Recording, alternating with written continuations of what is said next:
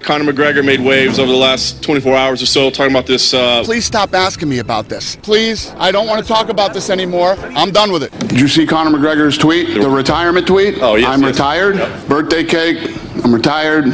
fair enough.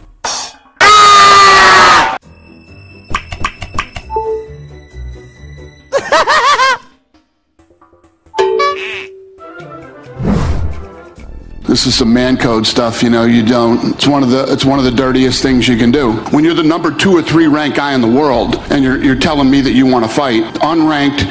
39 year old Diego Sanchez in a main event in Los Angeles. That was weird.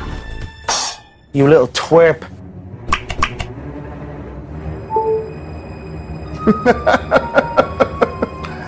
He's in trouble. The Saudis went after Conor. Assalamu alaikum, Ayada.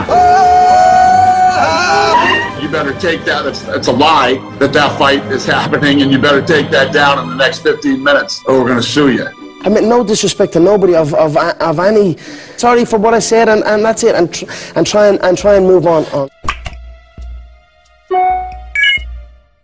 He took it down. You don't see the, the poster anymore about him and Manny Pacquiao.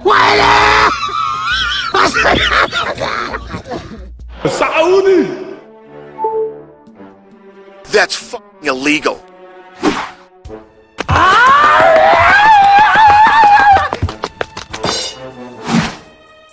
I, I have a deal. We just did a deal. I owe you three fights a year. You have the ability to turn them down. You don't have to fight. It is all good.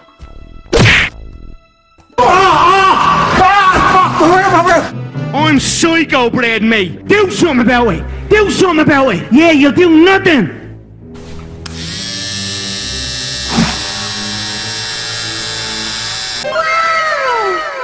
You say yes and sign the contract and show up. Michael Bisping. Where are you? La Candela. Please stop asking me about this. Conor McGregor's tweet, the retirement tweet? Oh, yes, I'm retired.